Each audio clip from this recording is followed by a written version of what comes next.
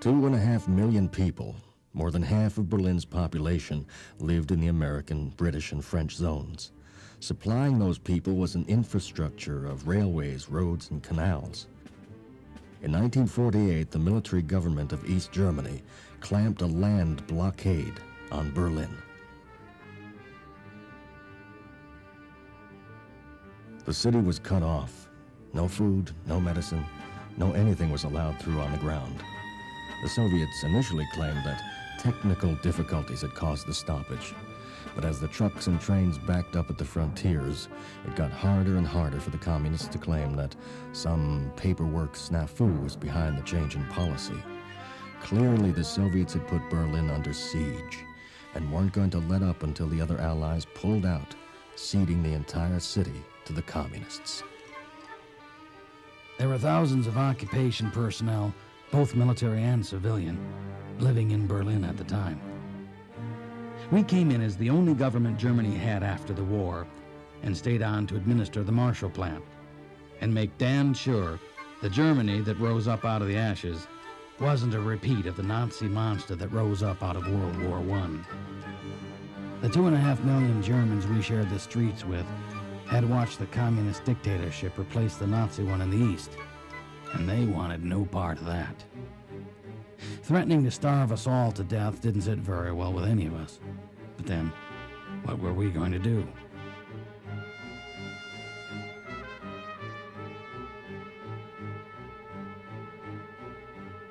The roads were cut, and we were rapidly running out of food and fuel. Electricity was rationed, and with that, virtually every aspect of normal life in Berlin came to a halt. The easiest thing would have been to surrender. It wasn't an American city, after all, but, but President Truman made a decision. We were going to hold Berlin. Come hell, high water, or Joe Stalin himself, Berlin would not fall. In late June 1948, Commanding General of the U.S. Air Forces in Europe, Curtis LeMay, ordered the beginning of the Berlin airlift. On June 28, C-47s flying over what had once again become enemy territory brought in 300 tons of supplies.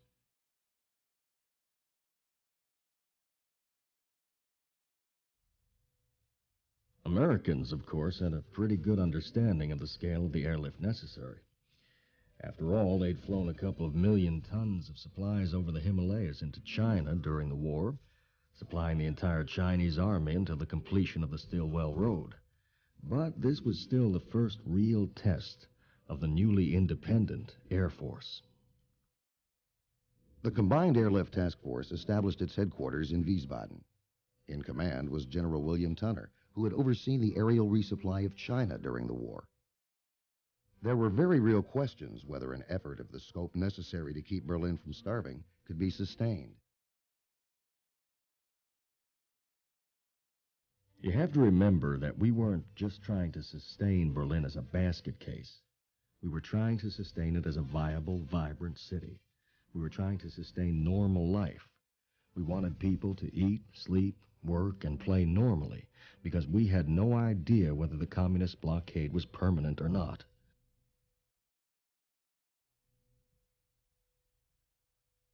The Air Force flew in not only food and fuel, but also raw materials so that manufacturing could continue. When the manufacturing was complete, the Air Force loaded and hauled out the finished goods for sale. This was not a temporary military operation.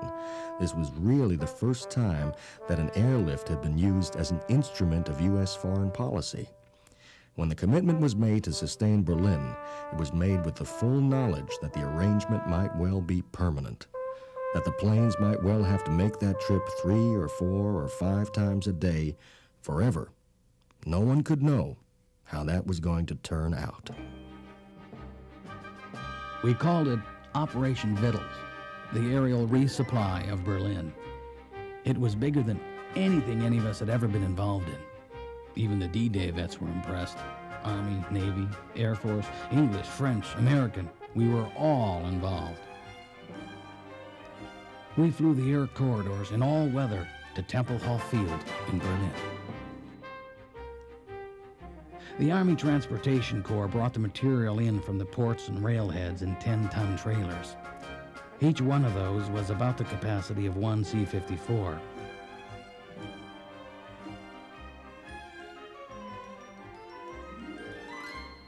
The base staging areas were really something to see.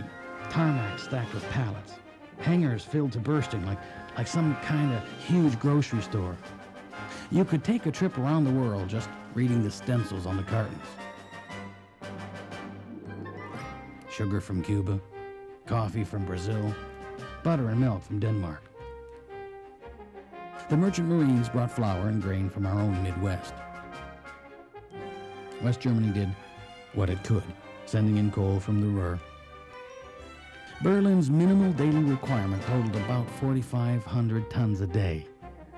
By early 1949, we were hauling in over 7,500.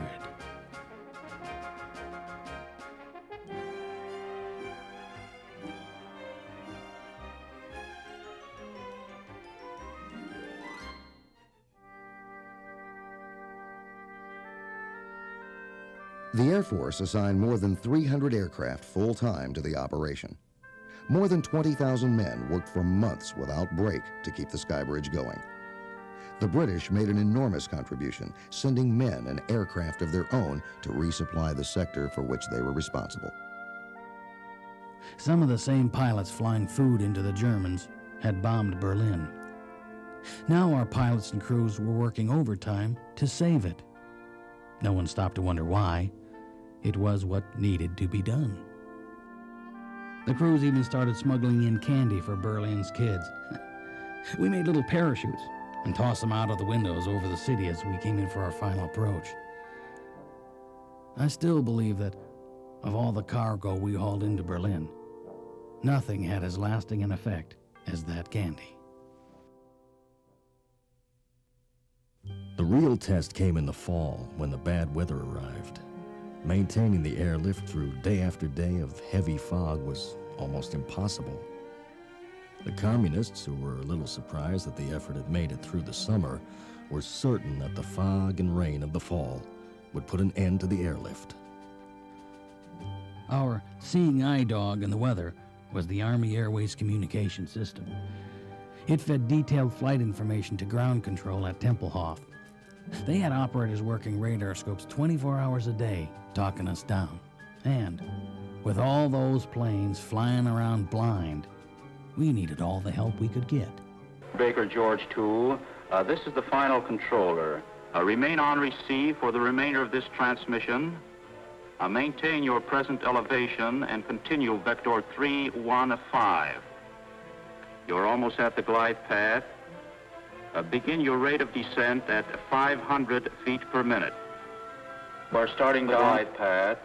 A rate of descent is good. Azimuth is good. Elevation good. Very nice flying indeed. Maintain your heading. On course. On the glide path. Very good. Now over the end of the runway. Azimuth and elevation both perfect. Touchdown in four seconds. Take it over, Baker George 2. It's all yours from here.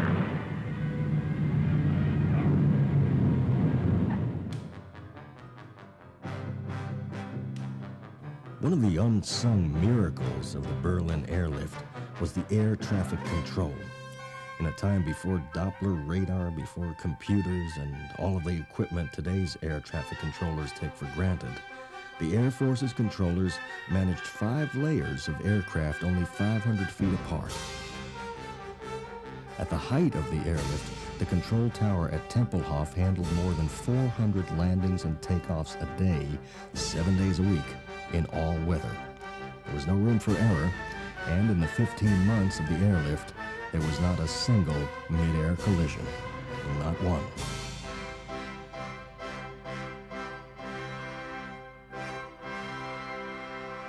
We set records and then broke them as fast as they could be written down. Coal was crucial, and we flew thousands of tons of it into the city.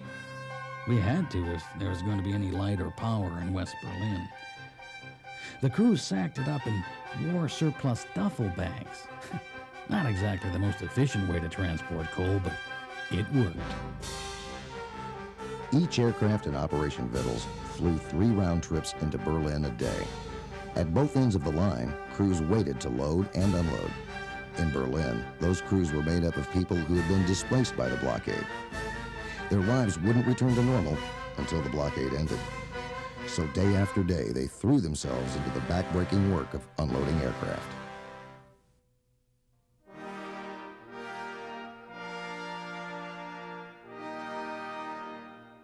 Berlin was saved because the airlift kept the fires burning, the wheels turning, the ovens baking. For 15 months, the airlift supplied all the necessities of life for a city of two and a half million people. By the time Stalin relented and called off the blockade, the airlift had brought in a ton of supplies, literally, for every man, woman, and child in the city.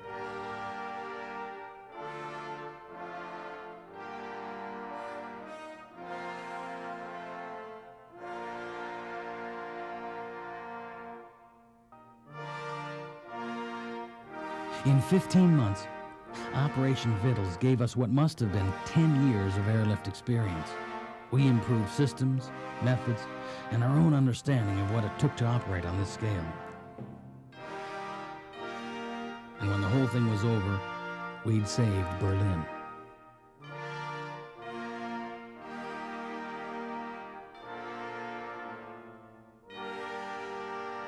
Wasn't exactly the decisive battle of the Cold War, I know. But it put the communists on notice that even in the absence of a shooting war, we weren't going to be caught unprepared.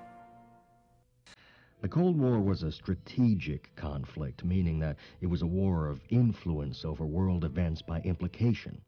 If I have a bigger gun than you do, I can modify your behavior without ever firing a shot.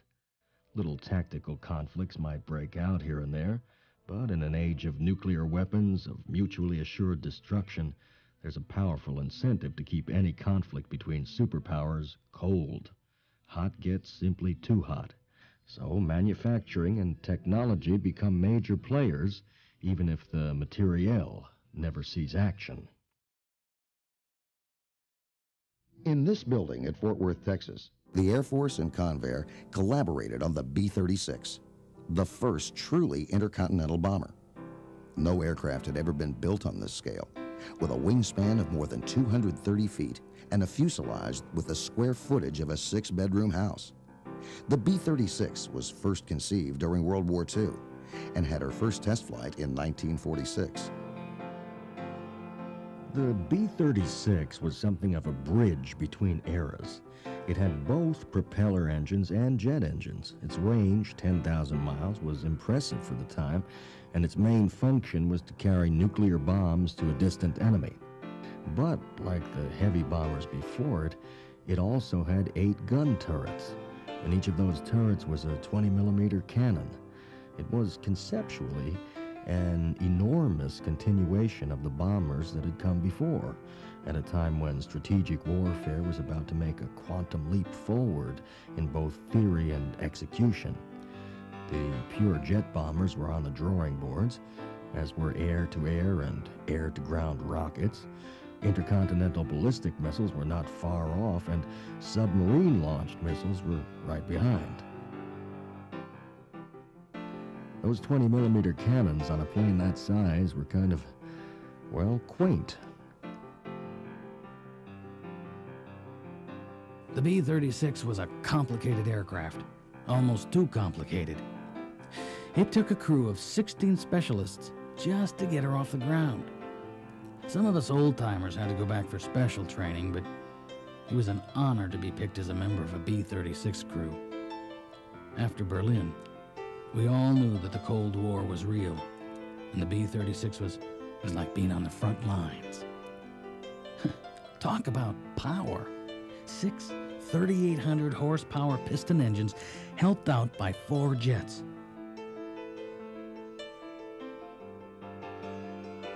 It took a lot to get the thing rolling, of course, because the plane was big, and its payload seemed even bigger. The bomb bay was designed to carry two 21 ton atomic bombs.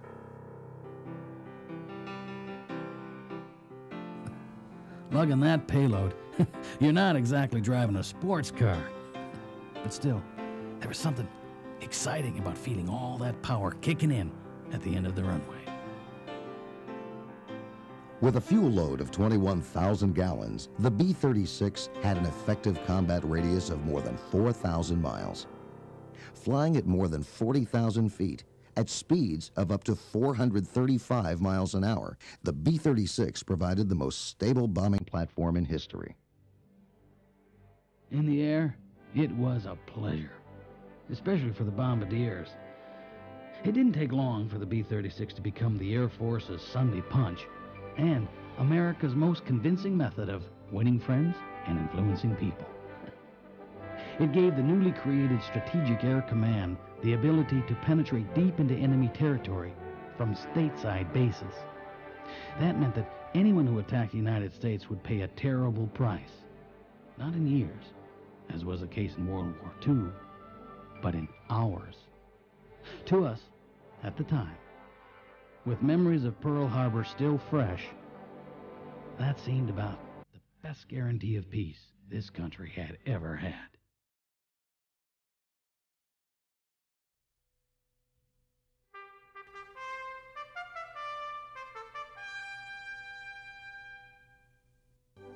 After the end of World War II, the essential conflict in the world was between communism and capitalism.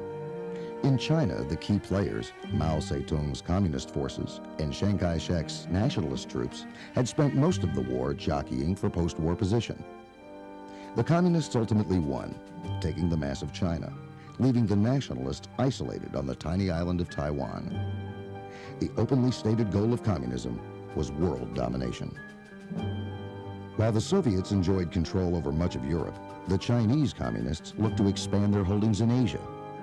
June 1950, on the Korean Peninsula, in the shadow of Manchuria, communist forces attack. It is to be the first open warfare in what was then coming to be known as the Cold War. In the summer of 1950, recruits started to pour into bases around the country. President Truman had declared that the communists wouldn't be allowed to take South Korea. Things weren't going well for our side. The Reds looked like they just might push us right off the peninsula. We were hunkered down on a teeny patch of land around Pusan, a port city about as far south as you can go in Korea without getting seasick. There didn't seem to be a way for the guys on the ground to buy enough time to dig a toehold. The only real asset we had was our air strength and we were outnumbered even there.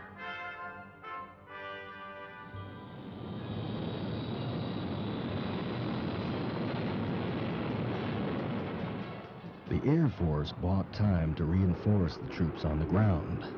It was clear from the outset that air power had to be maintained and increased quickly.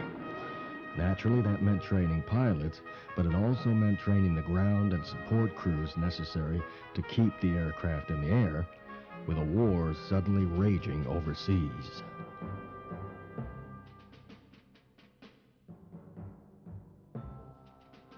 There's an old saying in the military amateurs plan strategy, professionals worry about logistics. Korea gave us a lot to worry about fast. Supplies had to be airlifted in stages over the Pacific Ocean, something that just wouldn't have been possible 10 years earlier. Techniques developed in the Berlin airlift a few years before helped, and it was great to see the veterans of that operation passing that knowledge on to the new kids just coming in.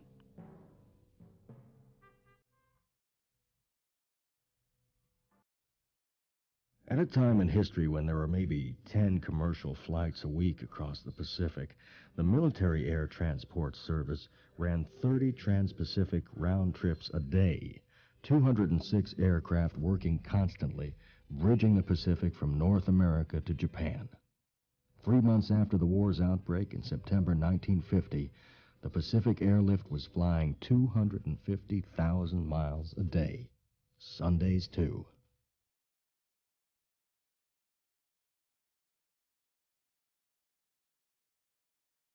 The Combat Cargo Command took the supplies and soldiers from Japan into the Korean battle zone.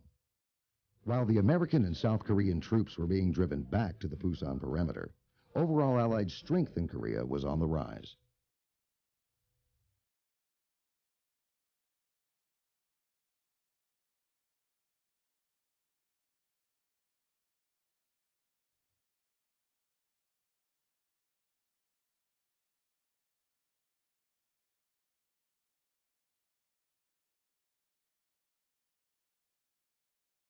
One day, late in August 1950, a C 47 from Japan arrived at the Daegu airfield inside the Pusan perimeter. We were preparing a big push north, and there was to be a conference of top level commanders representing all three of the armed services. We knew that they were meeting. We didn't know what they had planned.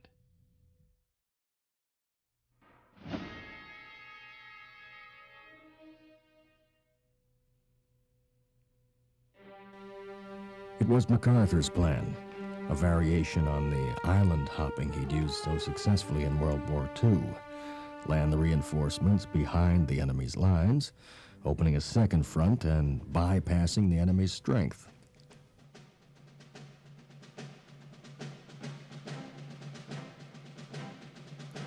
The B 29 started softening up Incheon a few days before the landing. We had 140 of them.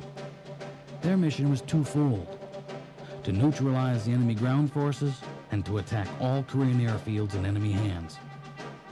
The week before Incheon, we flew more than 3,000 sorties over Incheon. We bombed rail lines, tunnels, marshalling yards, anything useful to the enemy. We were practically unopposed in the air, for we had long since effectively disposed of the Red Air strength, which was not going to be troublesome until the MiGs appeared later in the year.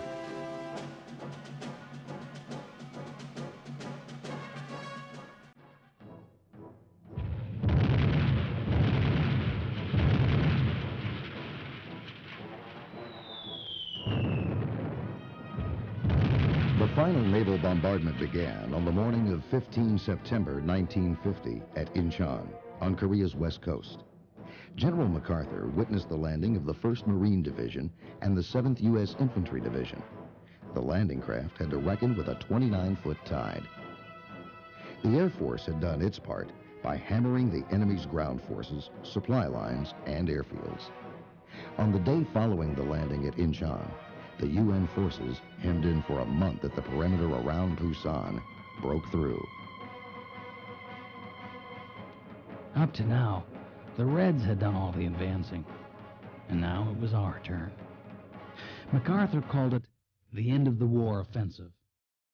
He intended to drive the Korean communists into the Yalu River at the Chinese border, the same way the Koreans had planned to drive us into the Sea of Japan.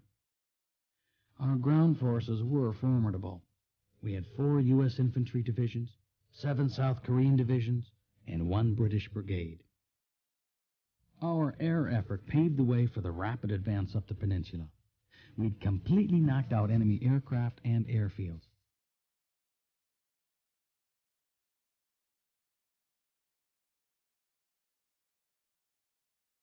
Our troops had nothing to fear from Red Air action.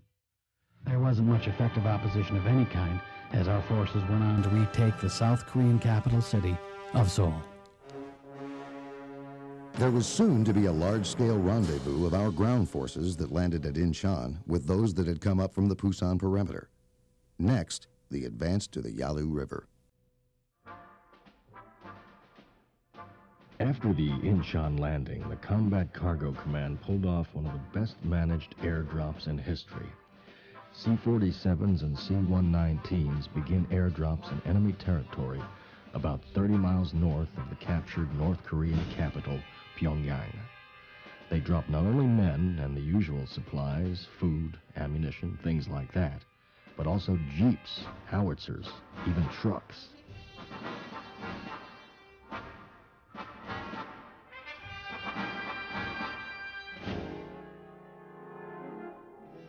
The objective was to trap as many of the retreating enemy as possible and to strengthen the UN's continued advance to the Yalu.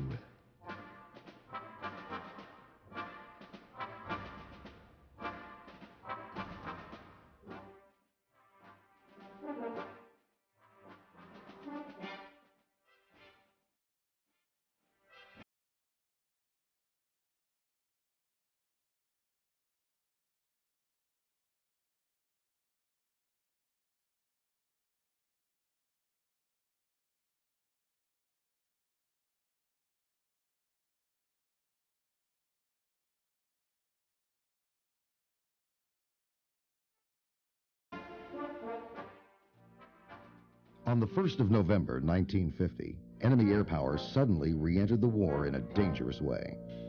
In the steel gray skies over North Korea, the first Russian built MiG 15s appeared. The F 86 was under development but wasn't battle ready. So our best jet at the time was the F 80. It was a good aircraft, but on paper, no match for the MiG 15s. They were like lightning. Still, we did all right. Our training left our pilots second to none, and it was in an F 80 that Lieutenant Russell Brown shot down the first MiG, the first of many. Cameras mounted on the wings of our fighters automatically photographed the air battle.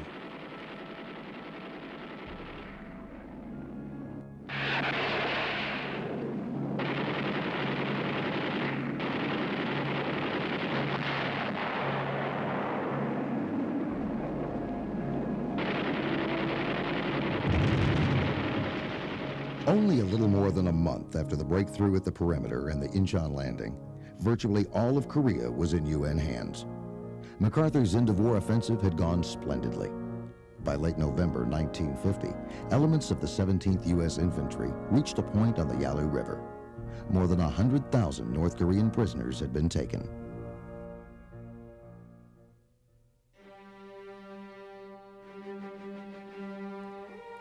A lot of the prisoners had frozen feet. Can be mighty cold in the upper reaches of North Korea in late November. Some of the UN forces got to the Yalu, but that was as far as they were permitted to go. Policy at the highest level forbade any advance or airstrike beyond the river. There were some who wanted to follow the North Koreans right up into China if that's what it took to finish them off. President Truman wanted to keep the Chinese out of the war, so he refused to allow even minor incursions into Chinese territory. It was a good idea, it just didn't work. A quarter of a million Chinese regulars poured over the Yalu into North Korea. MacArthur looked out over the battlefield and said, Gentlemen, what we have here is an entirely new war. When the Chinese came into the war, the effective enemy strength increased by about 300%. Suddenly we were opposed by great masses of Chinese troops and were greatly outnumbered. A rapid retreat to the south had to be made. MacArthur didn't like it, but he had no choice. The front was headed south to Seoul, and it made no sense to be on the wrong side of it. As the ground forces pulled back, the only effective way of both slowing the Chinese advance and supplying the troops on the ground was the Air Force. The C-119s, operating from Ashiya air base in southern Japan, dropped supplies to the withdrawing ground forces. The operation was fast, chaotic, and easily the most important thing most of us had ever done.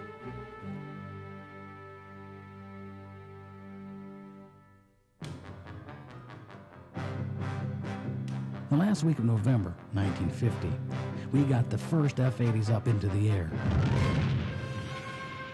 Those were hot planes for their time. The F-80s would come right in close to the lines and hit the enemy hard. They also ran interdiction and reconnaissance missions far behind enemy lines. Now, if you see MiGs up there today, call them out. Now, remember, once you look around, keep your speed up, if you, get a bounce, cut him off. When you get in range, shoot, and when you shoot, shoot the kill. Anybody got any questions?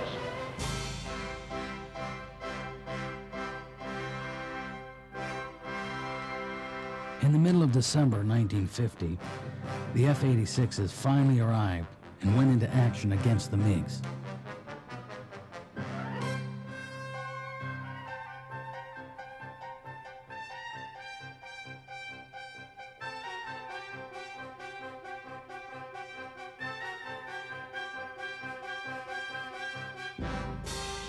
MiG Alley, the wide band of airspace over northwest Korea, became the setting for the first all-jet air war.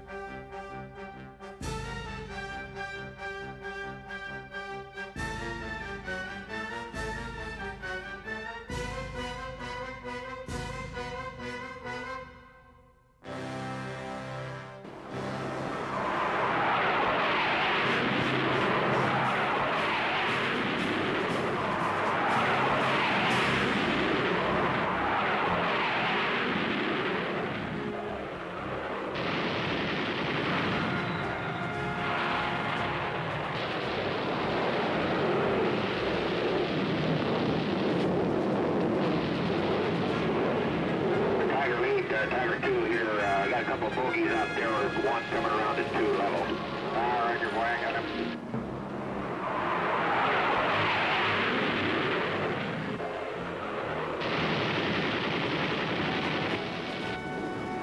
All right, there, there he goes. He's going down. You got him. All right, boy, that's a good deal. Uh, watch it. We got four of them coming in here on us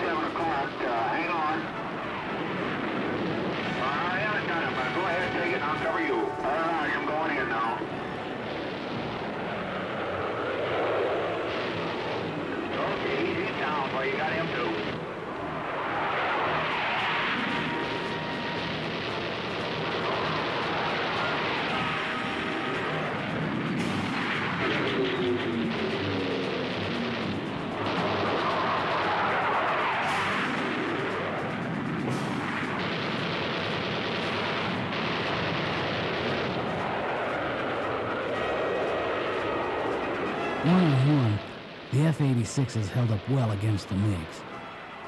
Even though we were outnumbered 4 to 1, we creamed them. The difference was the pilots. I really believed we had the best in the world.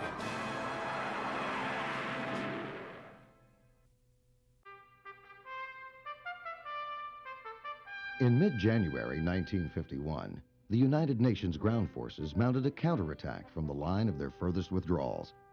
They pounded their way from below the 38th parallel and through the Iron Triangle. By June, the Reds were ready for an armistice. The battle line of mid-June was to remain more or less stabilized throughout the coming peace talks. The truce negotiations began in July 1951. A couple of weeks before, the Russian delegate to the United Nations had made it clear that the Reds had had enough. For the next two years, peace talks made faltering progress. During that time, air assaults on the enemy continued. After 21 months of dispute, chiefly over the problem of prisoners, an agreement was reached, at least on the exchange of sick and wounded. In April 1953, Operation Little Switch began. To Panmunjom, communist ambulances brought at the rate of 100 a day about 600 United Nations prisoners. Now, this operation was followed some months later by Big Switch, the large-scale exchange of the rest of the prisoners.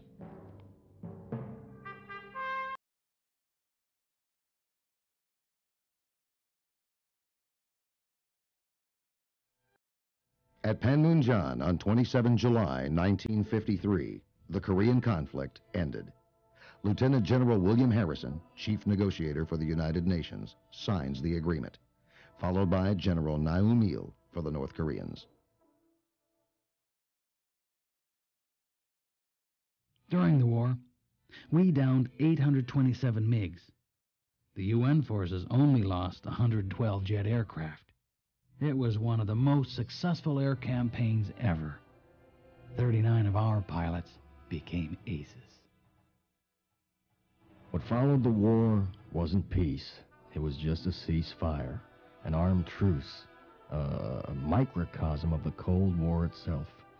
North Korea and South Korea remained formally in a state of war, but without shooting.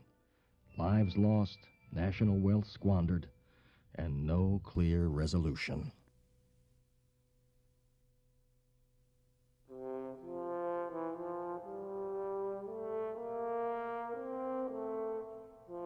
Looking back to the end of the war in 45, we flyers have a bit of a tendency to think about the planes. It was the planes, after all, that got us in to do the job and then got us back out, alive. During bull sessions, we used to talk about how great it would be if, if we could have bombs that would drop themselves, bullets that would chase the other guy down and kill him. What we didn't realize is that back in the States, that's exactly what the scientists and engineers were working on. There were things just beginning, research being done, discoveries being made, that were so secret, no one up on the front lines ever even heard a hint of them. They had things on the drawing boards that damn near made aircraft irrelevant. And that's a hell of a thing for an old flyer to have to say.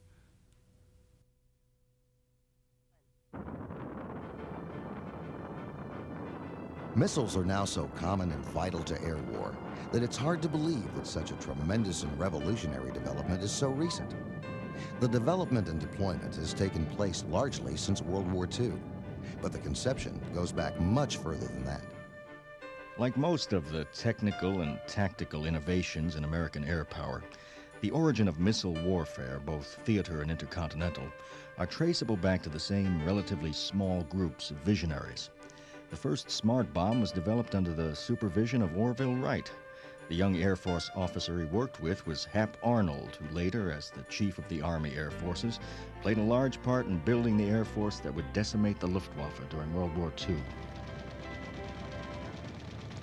As the weapons developers searched for a new form of propulsion, they turned to rocket geniuses Robert Goddard and Wernher von Braun. These are names that keep turning up all through the history of the Air Force and that bridge the passage from biplanes to the nuclear age.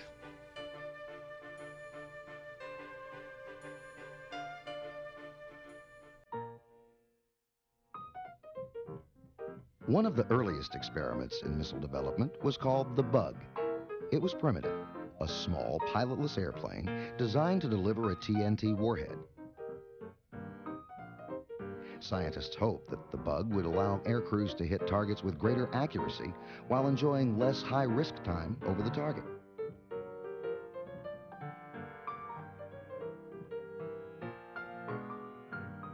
Alas, the bug was a failure as a weapon. Its propulsion system was feeble, and its remote control capabilities virtually non existent. But it was a start. The problem of propulsion was, at the time, being solved by a small group of scientists headed by Robert Goddard. In 1926, working in Massachusetts, Goddard achieved the first firing of a liquid fuel rocket.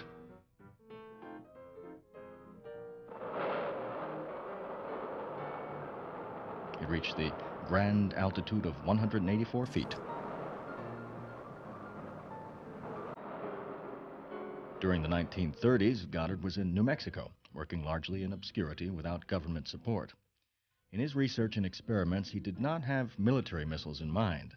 His objective and his achievement was a propulsion system that could send scientific payloads to high altitudes.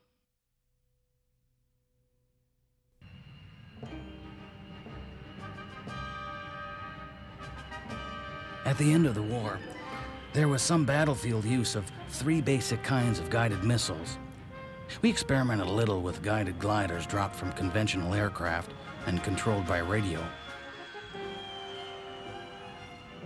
They worked great in tests, but were pretty useless in battle. On a larger scale, the boys at the War Department suggested we make use of Weary Willies, obsolete aircraft loaded with TNT and flown by remote control toward a target. About all that accomplished was blowing up some planes that would have been bulldozed after the war anyway. We also had some air-to-ground missiles, 2.75 inches, that we used for strafing. And the only advantage they had over conventional weapons was you didn't have to calculate for the pull of gravity, because they went in a straight line.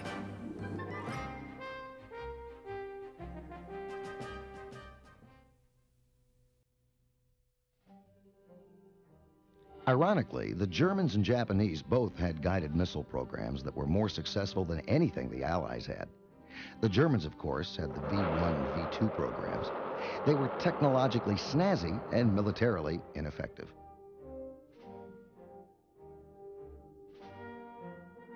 In 1936, the Germans began developing what Hitler called vengeance weapons. In 1944, they had their first real success, the V-1 buzz bomb. Typically, Hitler chose to use his vengeance weapon on the civilian population of London, rather than on Allied troops or supply concentrations. They eventually fired more than 7,000 V-1s, and more than 2,000 of them landed on London. We shot down more than 4,000 V-1s. They were really nothing but pilotless jets, aimed in the general direction of cities and let fly. Every night for months, we went up and knocked them down.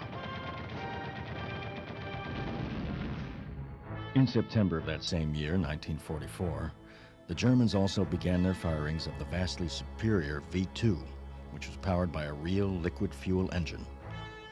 It had a speed of 3,300 miles per hour, and it could not be intercepted by fighter aircraft or brought down by anti-aircraft artillery. More than 1,100 fell on England. They not only took a toll of more than 9,000 casualties, they also had a devastating psychological effect. For unlike the buzz bomb, the V-2 fell silently, without warning.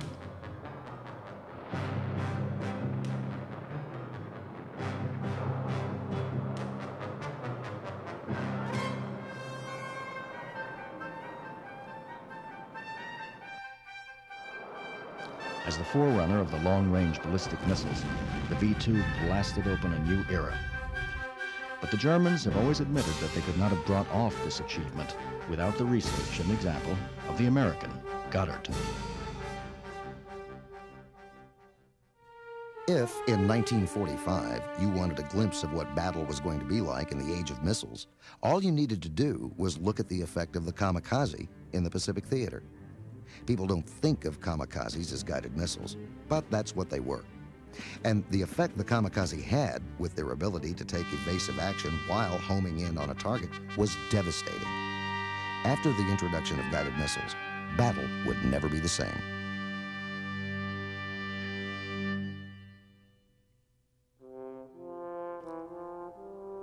At the end of World War II, the American military transported captured German V-2 missiles and their components back to the United States for study. The entire German missile program ended up at White Sands Missile Range.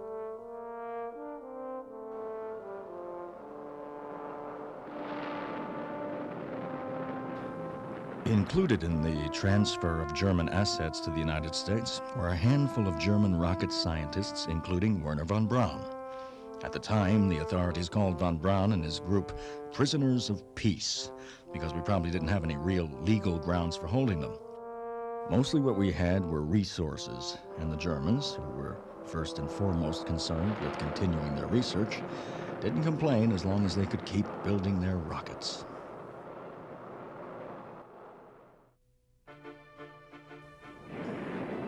One of the first missiles to go into service was the Falcon, a fast, accurate, and powerful guided missile launched from interceptors.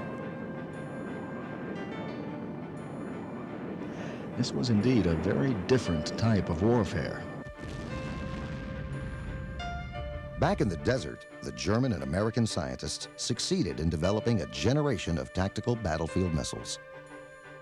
The Matador was the Air Force's first successful ground-to-ground guided missile. It was boosted off by a rocket, and then a turbojet engine took over, kind of like the German buzz bomb. The missiles were electronically controlled by ground personnel, and they blew up a lot of taxpayer money before they started getting them up on a regular basis. The Mace was an improved version of the Matador. It was larger, faster, and had a greater range. To increase that range even more, they developed Snark, the world's first intercontinental missile. It had a range of about 5,000 miles.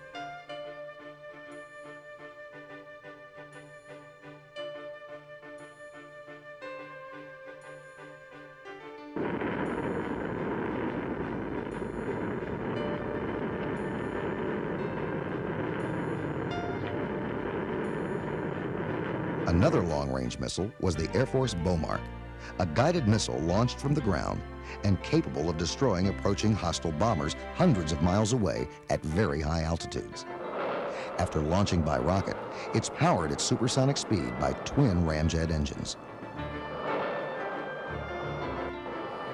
The same research would lead eventually to both manned spaceflight and intercontinental ballistic missiles.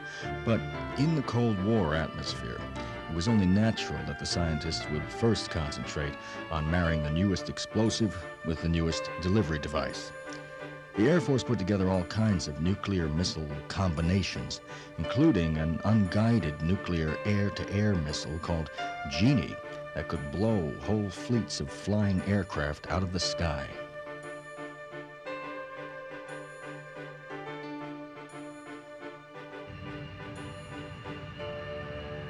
Through the 1950s, the concept of the mixed force evolved. Along with the missiles, new generations of manned aircraft were being developed. The B-47 was a highly dependable modern medium bomber capable of carrying nuclear weapons. And the B-52 Stratofortress is in its fourth decade of service.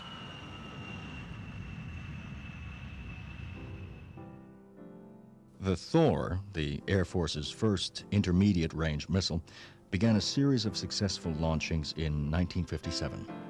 Again, the dichotomy of missile development. It was designed to carry a nuclear warhead, but it reached its greatest success as a booster for satellites and space probes.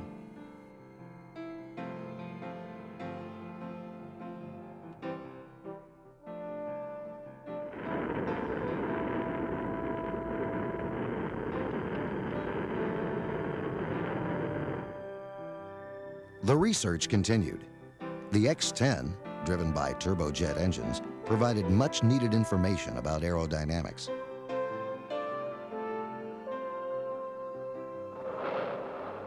The X-17, a three-stage test missile, saved a lot of time and money in solving problems of re-entry at high speed and consequent high temperatures.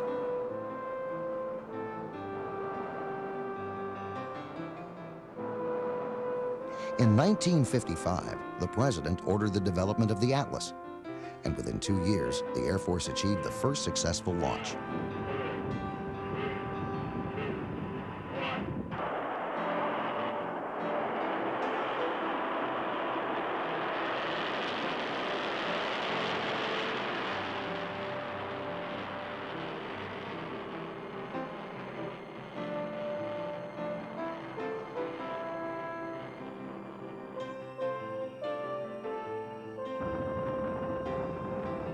Other formidable missiles, such as Titan and Minuteman, were in the research and testing stage.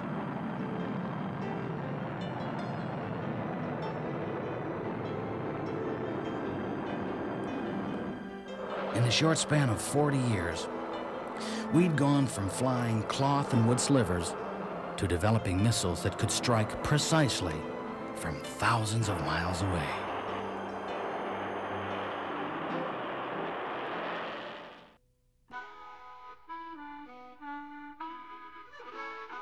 Experimentation in space travel increased the Air Force's knowledge of what is now called human factors engineering. With planes getting faster, the G-forces that must be endured in battle increased enormously. It was in studying for the rapid acceleration and deceleration of space travel that the greatest advances were made.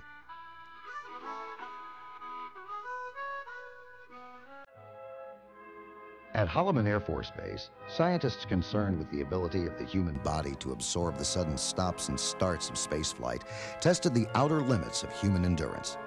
They put men and animals on rocket sleds, and during each run, instruments recorded rates of acceleration and deceleration, peak g-forces.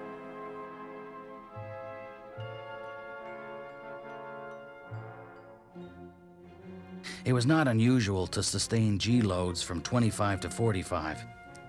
In 1958, Captain Eli L. Beeding, an Air Force program scientist, survived 82.6 Gs for four one hundredths of a second.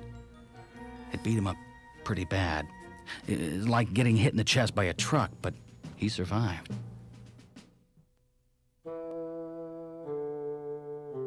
The animals used in the testing out at Holloman were trained to perform an awful lot of the same functions pilots were trained to perform. Of course, this was not lost on the pilots. There was just something about seeing a monkey manipulating a control panel. The scientists liked that too much, if you ask me. Monkeys in the cockpit. we never heard the end of it. But we went along because flyers in the age of rockets had to be equipped to maneuvers and forces and challenges human beings had never endured before.